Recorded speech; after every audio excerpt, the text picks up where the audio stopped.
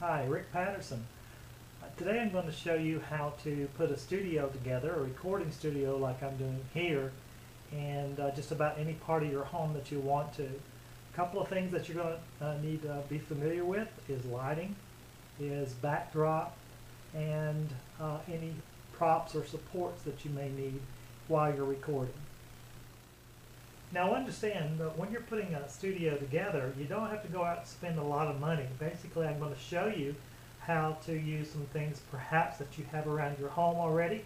Um, just to some low budget technology that makes uh, your videos look wonderful. Uh, let's talk about lighting first off. Uh, this recording here, I'm only using one overhead light. Uh, I'm going to fix that uh, in just a second and have lots of lights here in the house. Um, what I'm going to talk about is using a floodlight.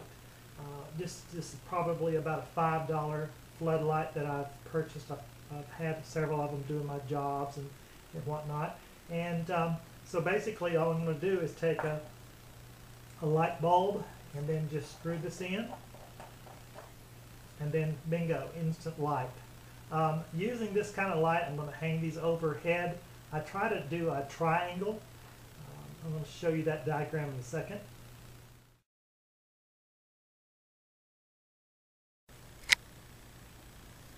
As you can see here, what I've done is just mounted the spotlight up to a rafter or cross bracing and the rafters above the studio. Now as you can see what I've done is have a light on this side and a light on this side and I'm in the triangle. So what it does, it lights up both sides of my face no matter where I turn, and even if I face forward, there's less shadows. Now I'm going to talk to you about how to get rid of the shadow that's behind.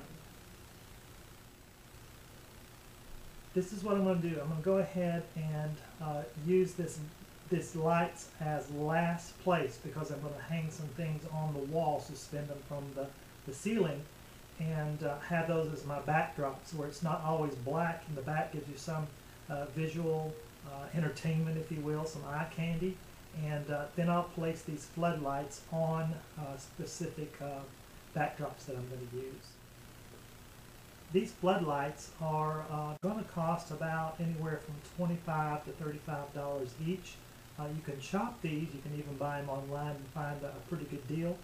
And the nice thing about this again is um, that it's LED, so it gives out a brighter light for me.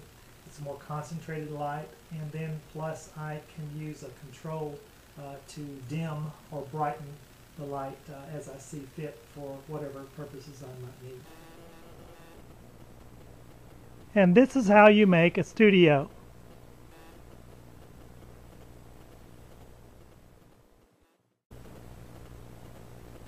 Well, everything's finished and it's looking great. Glad to have my own recording studio finally. Uh, you'll be seeing uh, me here a lot in this uh, atmosphere, and I'll be working on my bench here to my right, and um, I'll eventually probably put a desk here, and I'll be showing you some things while I'm sitting at my desk. this is Rick Patterson with the Handyman Toolbox on how to put a studio together.